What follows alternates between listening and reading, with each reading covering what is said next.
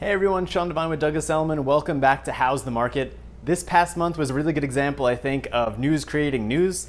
Third quarter 2019 ended. We saw lots and lots of articles about us being in a down market, about us being in a buyer's market. And despite the fact that September 2019, the very end of the third quarter, was actually an up market where we saw contracts and price per square foot go up, October, immediately after all those articles were happening, um, about the down market, we saw the market go down.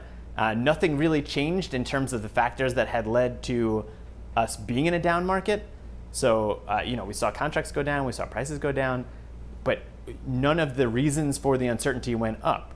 So the reasons, you know, things like the trade tensions between the United States and China, the trade tensions between the United States and other countries and regions throughout the world, things like whether and how uh, Brexit will ever actually happen, things like the impeachment inquiry, the upcoming presidential election, the Fed lowering interest rates consecutively for three times in a row, um, and new tax laws. Uh, all, all of these things, lots of uncertainty. As interesting as it is, none of that really changed in October to make it so that we would go down again, other than that we had all of these articles saying that we were down.